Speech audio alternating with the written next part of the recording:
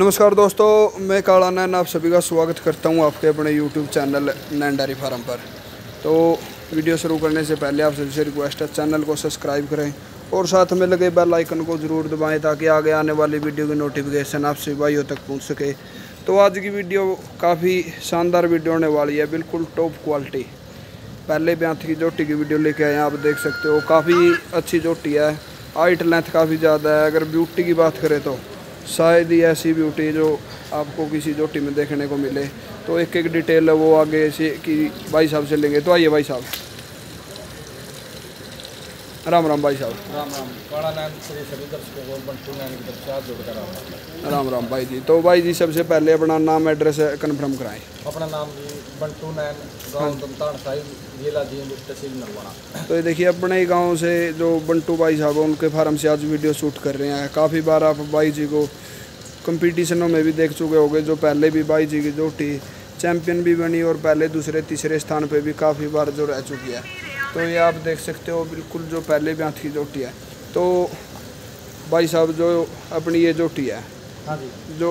अपनी जोड़ा भैंस थी एक नैला चैंपियन बनी थी और एक तो उनमें से कौन से की है ये? ये जो नरवाड़ा नरवाना फ़र्स्ट नरवाना फ़र्स्ट रही थी उसकी है ये। तो इसका जो मदर का क्या रिकॉर्ड रहा है? इसकी मदर का साढ़े तेईस किलो का रिकॉर्ड है। और फादर इसका भाई साहब है? फादर इसका अर्जुन। अर्जुन। हाँ। तो अभी कितने दिन की ब्याई हो चुकी है भाई जी?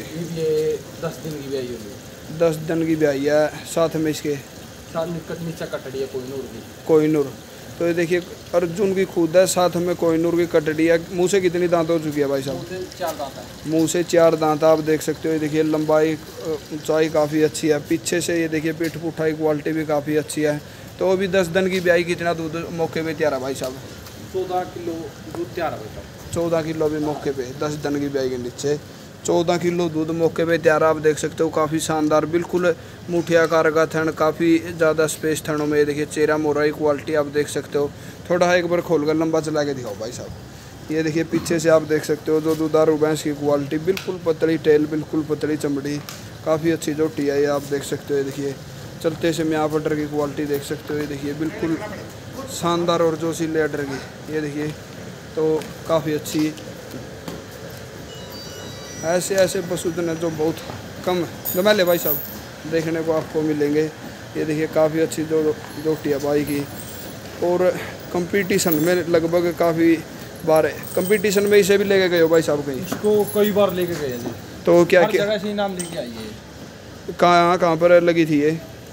ये दीवानी भी लगी थी अब गद्दी खेड़ी लगी थी सबसे पहले ये लगी थी डब्बी कलां यानी जब से आप कंपटीशन में लेके जा रहे हो तभी से ये कम से कम खीरी भी लगी है जब एक साल की थी हाँ जी भाई। साल की हर बार लगी है।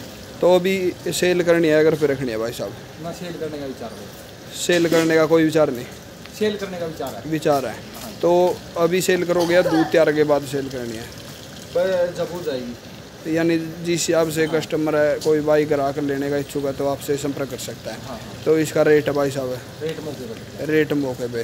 तो एक बार फिर आपको जो कवर करके दिखाएँगे ये देखिए सिंगों की क्वालिटी आप देख सकते हो बिल्कुल रिंग सिंग चेहरा मोरा की क्वालिटी काफ़ी शानदार है जोटी की।